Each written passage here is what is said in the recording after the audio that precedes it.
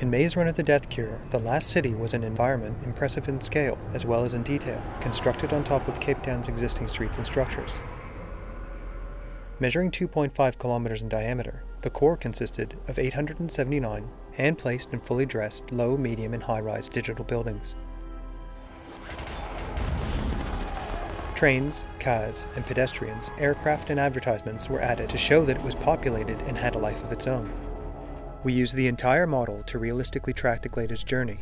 This level of detail provided the freedom to construct or augment any setup required, from the lighting and layout of individual offices to parallax when sweeping past a high rise window.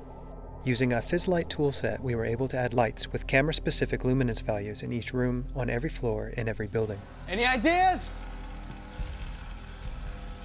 The post apocalyptic streets included hundreds of layers of trash, electrical wires, laundry lines, wrecked cars, and rubble.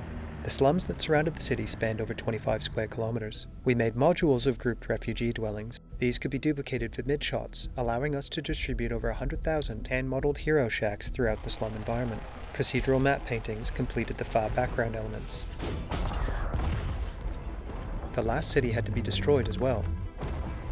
A majority of buildings and sections of the wall were designed in a destructible fashion, allowing the director to art direct the chaos in the final attack on the city.